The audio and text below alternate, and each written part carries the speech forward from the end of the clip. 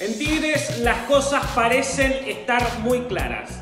Teniendo dos días de entrenamiento, eh, tres si contamos el regenerativo previo a la final, Ricardo Ferretti no probó un 11. Lo que vio ante Palmeiras parece haberlo conformado porque este martes fue el turno de la cascarita, sí. La que les dije ayer que podía suceder en el día previo también se llevó a cabo en el martes. El conjunto felino entrenó por la mañana de Qatar, eh, madrugada si se quiere de, de Monterrey y no hubo 11. El Tuca no paró un equipo, no ensayó eh, ninguna formación. Todo parece estar claro para el entrenador.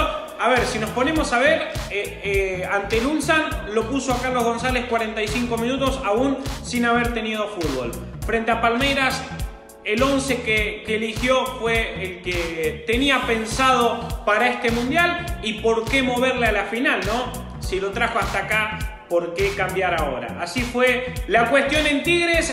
Eh, en la mañana del martes que arrancó con pruebas de COVID. Recordemos que eh, después y antes de cada partido eh, los jugadores, el plantel es sometido a, a, pruebas COVID, pasaron por el hisopo, así que bueno, mañana estarán las pruebas a la espera de que den todos negativos para que el Tuca pueda tenerlos para el duelo del jueves. También mañana será turno de rueda de prensa. A las 7.15 hablará el Bayern Múnich, siempre obviamente de la hora de Monterrey. A las 8 de la mañana está pautado que hable Ricardo Ferretti en la última conferencia previa a la final ante el Bayern Múnich.